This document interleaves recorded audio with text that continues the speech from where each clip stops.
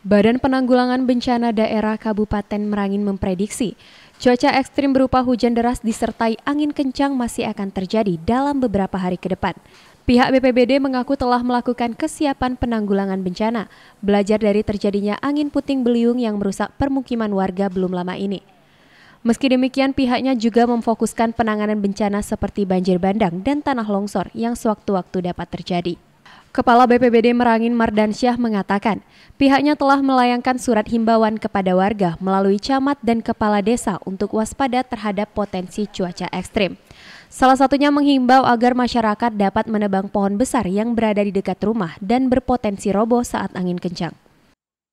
Curah hujan cukup tinggi, kami BPBD ya dua bulan yang lalu sudah membentuk uh, posko bansor banjir, tanah dan longsor ya.